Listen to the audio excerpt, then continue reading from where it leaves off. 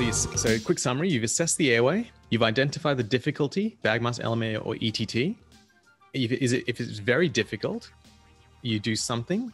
And if it's manageable, you then do something else. If you have a very difficult airway that you think is virtually impossible, you've just got these options here. Essentially, they're all spontaneous ventilation techniques, awake fiber optics, awake look. So literally just having the patient awake, uh, topicalizing the airway, you know, ask one of your consultants to explain this to you when you're in theater and you have a look with a video laryngoscope to see what you can see.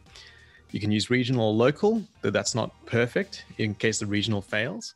Uh, awake tracheostomy, again, in the most dire situations, this is what you might do, say for a tracheal laceration, and maybe an inhalation induction, but that's also got its problems.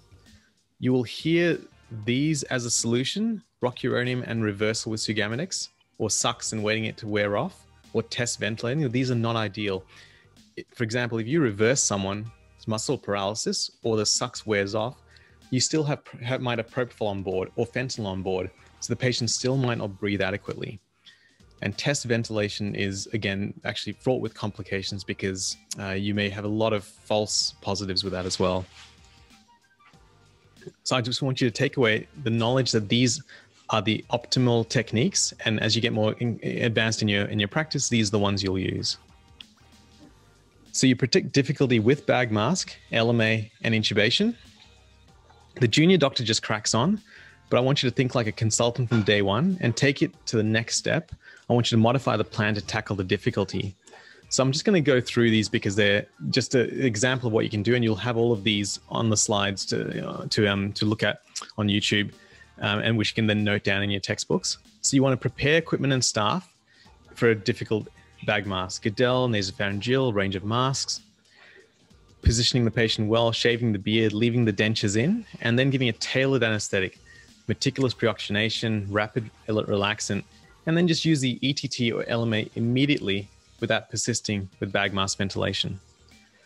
That's so you've now predicted difficult bag mask. That's what you do with difficult bag mask. Difficult LMA, again, same thing. Prepare equipment and staff. Different LMAs, different size of LMA, fast track, ProSeal has higher seal pressure, have an ETT ready, leave the get, get a good position, leave dentures in, and again, meticulous preoxygenation and use the ETT immediately without persisting with an LMA if it's failing. Predicted difficulty with intubation, similar format. Get everything ready, video laryngoscope, bougie, make sure it's out, smaller tubes, different blades. Modify the patient, so position the patient well, take dentures out, because dentures out is good for intubation, but not as good for bag mask. And then same thing as before, meticulous preoxygenation, maybe get apneic oxygenation with the um, Optiflow Thrive, and then maybe sucks or high dose rock to get the best conditions rapidly. So I've just gone through that. You'll have all of that data for yourself. So you'll identify the difficult airway and then make the plan.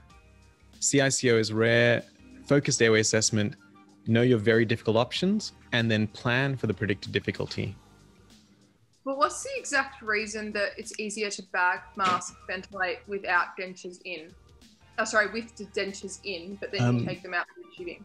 Yeah, it just provides a bit of structure to the face. Um, Guedel's LMAs also sit better with the with the um with the uh, dentures in.